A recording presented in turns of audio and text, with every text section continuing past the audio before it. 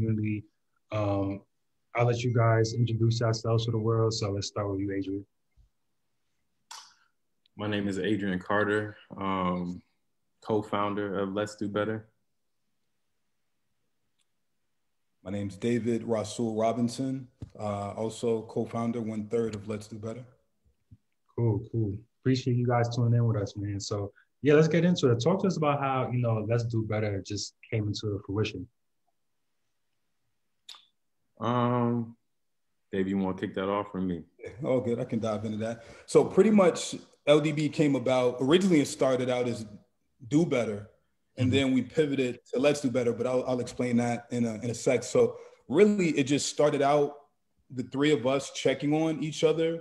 You know, just well, you know, we've been friends for quite some time. So just checking in on each other's well-being over the course of COVID, at the beginning of COVID, uh, um, just checking on each other's family, uh, building with each other, you know, weekly. And then that grew into, okay, us seeing what was going on in the country, in the world, um, something that's not new to three black men or any persons of color in this country. So we're like, okay, we know what it is. We we've seen, you know, with George Floyd, that's only the most recent iteration of years of uh, maltreatment uh, through various, you know, various situations in place.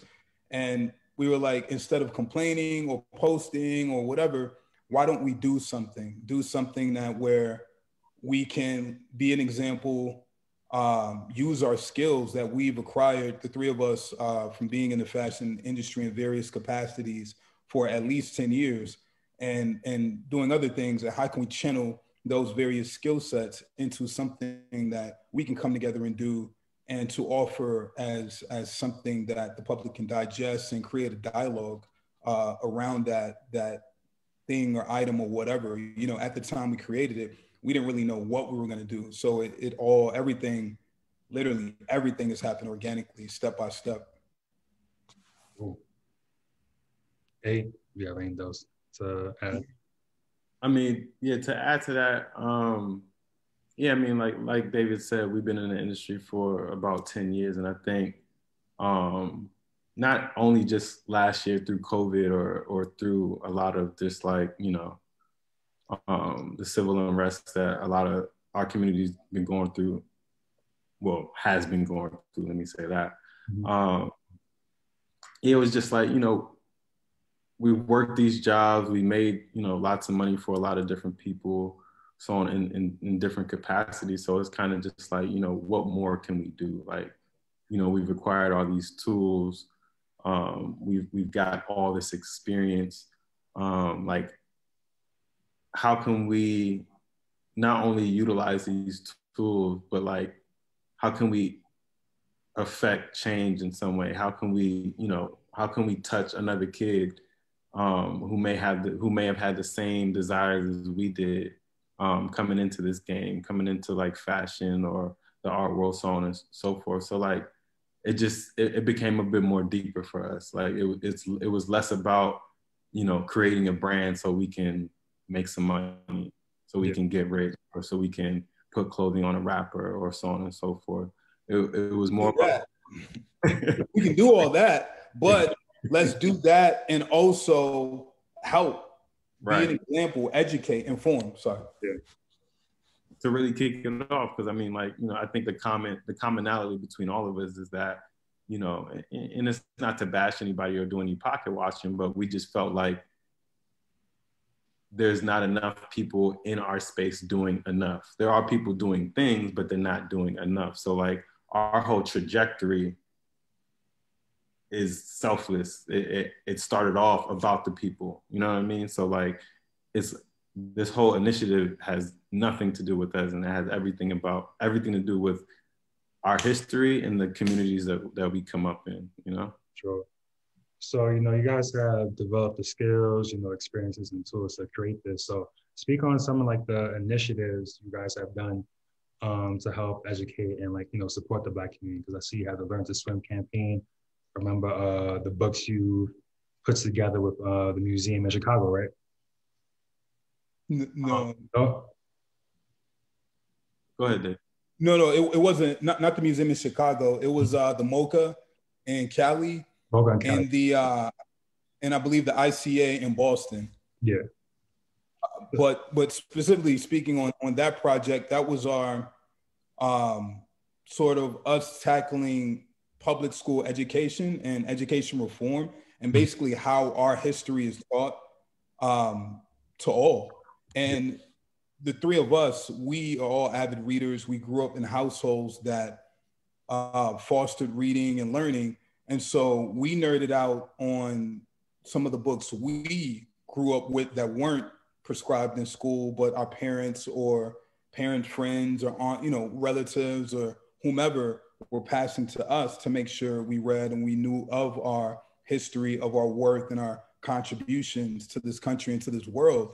Um, in, in addition to that, it was uh, obviously a great deal that we hadn't read and, and weren't exposed to that other people exposed us to. So we thought, why not craft a sort of LDB recommended book list? Uh, titles we read, titles we want to read, titles we all recommend, and not just for Black people to read, not just for Black folks to read, but for all folks to share that, you know, have that exchange of culture and that that sort of sharing of our history and build that that reciprocity because just as much as I love and I want to know and curious about our history, it's the same for all others.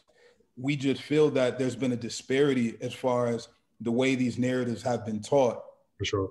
You know, to to you know a variety of uh, a variety of people. So the book project was us tackling that but then we're also fan, fans of furniture, of design, of, um, of, of, of history. So we thought, how can we kind of do this project, but not have it be teachy or preachy and kind of add a twist? So we partnered with our friends in, at Lichen and um, we decided to craft a set of bookends around Donald Judd's uh, the, his wooden chair. He did a, a forward slant chair and a backward slant chair. Mm-hmm. So basically, we shrunk those down, made those bookends, and crafted a tier system of um, of packages of three, ten, and I forget what the third, third tier. I think it may have been on 15 books that were packaged with the tote um, and the bookend. So that way, it can be something that's functional. It can be repurposed, but it also create that dialogue that you can you know pass on and share with others. Yeah, I actually have a so I, shelf over there too. Thank you. Appreciate. Yeah, and that's even more. Actually, you. No, go ahead. You, you want to? My bad. You want to speak on where those proceeds went though? The uh, the Carter Center. Yeah. So, and I mean, this goes for every project. You know, there's there's a cause or something that we want to get after that we want to tackle. Um, you know, and for us, it's building is building a story around it that we can kind of repackage and share with the world so they can kind of take that in um, in a more contemporary light through our point of view kind of thing. So like um, with the Bookends project, you know, while focused on um, while focused on education reform and Black history, um, we partnered with the the the Carter. What was it called again? David? Carter Center the Carter Center um, in um, Santa, damn, in, uh, St. Louis, I believe. Yeah, St. Louis, Missouri. Out in St. Louis, um,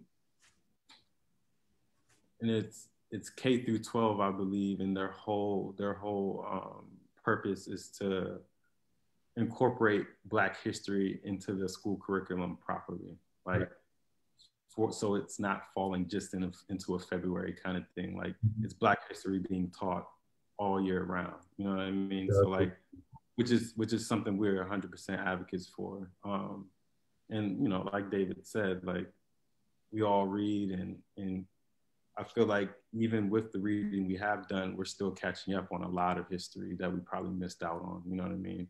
Yeah. Um, so this project, even for me, was like huge because it just make it, it make it makes you think back about the, all the time you did spend in school and what you were taking in and and how and how much of it you missed. You know what I mean? So you kind of feel like you wasted a lot of time in school, you know, you know, learning about a lot of things that, you know, have absolutely nothing to do with anybody. Right. Literally, literally anybody. That's even more important today because, you know, with Juneteenth becoming a federal holiday and then it's almost like a contradiction because now they have like in some of the states where it's illegal to teach, you know, about basically like black history and like, you know, right. about critical race theory. So now you have like programs like yourself where it's like, all right, cool with these mainly like southern states saying like you can't like we're not incorporating this in like, you know, the regular curriculum. Now with these programs like right. together like these uh the book projects and stuff, allowing like kids to really educate themselves because you know at some point everyone's gonna have the conversation when everyone's off from work, you know, off from school because of Juneteenth. So now people have to figure out, oh, how can we get off Juneteenth? What is Juneteenth? And then these books you put together for everybody and have to start digging deep and understand the history and why it's such a big deal. And then uh, last question before we go into your foundation, um, take us through the, the Learn to Swim campaign. So I thought that one was very interesting as well. Oh yeah, that that actually was one that hit really close to home for myself mm-hmm. because when I was younger, I almost drowned twice. Um, and for most of my life, I had a real aversion to large bodies of water. Yeah. So basically, the Learn to Swim campaign was us looking at okay, there there is that joke that black folks can't swim. You know, we we joke amongst about it amongst ourselves, and it's almost a sort of stereotype among black people, you know, to non-black people. But really, why is this the case? And us kind of once again asking this question, tossing it around internally, and the three of us taking this deep dive to really look into the history and to really find that out. And it was funny because right around when we were finalizing this project and we partnered with Everest Isles, uh, who I'll speak about briefly in one sec, was at the same time um, Jay had came out and, and you know in the barbershop interview with LeBron where he had mentioned um, how he had learned to swim. I believe it was in that interview. He had learned to swim for blue. And that that's real. Yeah. so so basically we partnered with everest isles. They make um, swim trunks out of recycled fabric repurposed fabric. That's one thing we've always wanted to make sure we we we pay attention to in regards to whatever product we're making packaging so on and so forth that everything's considered is thought out is as low impact on the earth as it can be. Yeah. um, so with that, we we partnered with them and we we designed a set of swim trunks, uh, custom swim trunks, and uh, this long sleeve tee you see I have on, which is based off of a uh, uh, Art Deco swim campaign swim poster from New York Park District from the 20s. The original image, uh, I mean, it's kind of kind of difficult to see on this. Uh, this original image was all white swimmers, all white, all white kids in the background, all white swim uh, swimmers. It was a poster for for whites only, for white only pools. So with this, we added a little bit of color, a little bit of flavor to it. Not to say, you know, we just added some diversity. You know, white, black, beige, brown, etc. All colors, exactly. And the shorts, we actually added a few elements of the uh, Pan African flag. The shorts are mostly black Red Toggle, and uh, our Pantone Evergreen. So we try to kind of slightly tell these stories literally in the product, yeah. but also, but and not people over the head, but also have it be something that people will want to wear. It creates a dialogue, it creates a discussion around, mm-hmm. and it raises interest. And, and and honestly, speaking personally for myself, I love.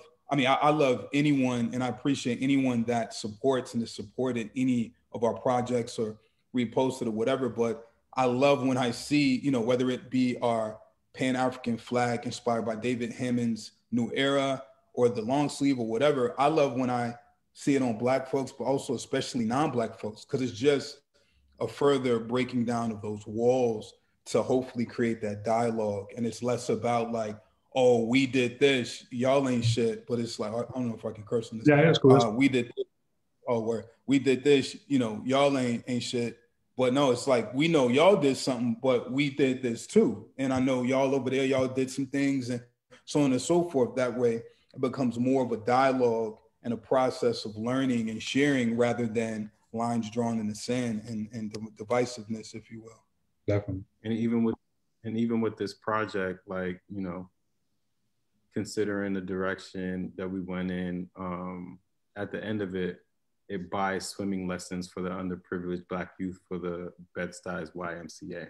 Yeah, so like there's always there's always a connection to some to um, an organization that will uplift and empower you know these stories that we're actually trying to tell you know because they're real they're real stories you know what i mean?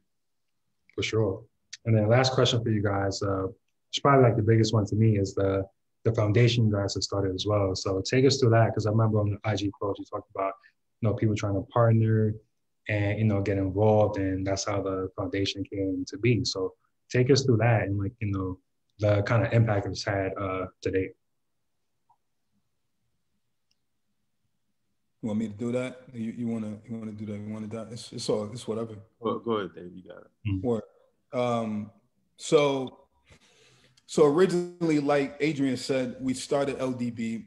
We didn't, you know, we didn't originally started out to be a what we internally were calling a philanthropic brand. Yeah. And we make product, you know, we think of a think of a, a concept or address an issue, think of product or, or an item or whatever and every project is different from the last. And then those proceeds, those net proceeds, are then donated to a cause that was tied to that that item or product or or issue. So we thought for the future to better free us up in regards to the LDB segment, why not create a true, fully functioning nonprofit arm of what we do, which is now the Doing Better Foundation. So with that, that frees up LDB a little bit to be that much more nimble to and and and it also frees us up from being strictly a brand because we are we are more than that. You know, yeah. you know that's been the lowest hanging fruit because that's what people have seen uh, what's been front facing. But you know, behind the scenes, we've done other things. You know, it's the product, the consulting, the the the marketing, the, the various things we do, and that we you know we've done kind of behind the scenes for for uh, for others, um, you know, throughout our time in this business.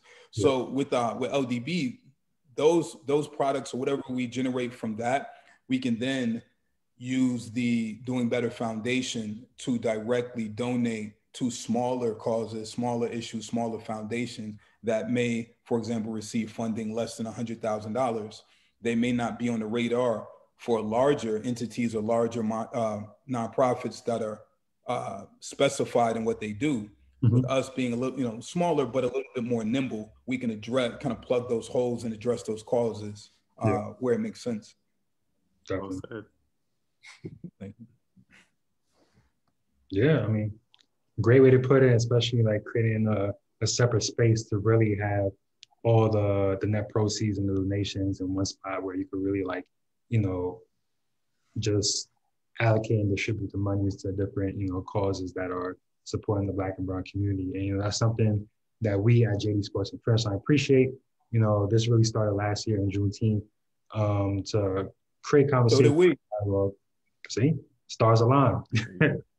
and just to really create dialogue and conversation around you know what's going on within the black community and how you know we could do better and you know put people in positions to really like you know service the community so with that said you know we'd like to donate $10000 to your foundation you guys are doing amazing work especially with uh, the books and really like tackling some of these stereotypes for black people and just it being really education based and that being even more important today with like like i mentioned earlier with like you know some states like getting rid of like race theory in classrooms so no one could really talk about slavery and you know the things right. black people went through and like and that's all part of American history. So definitely kudos to you guys and the work you've been doing.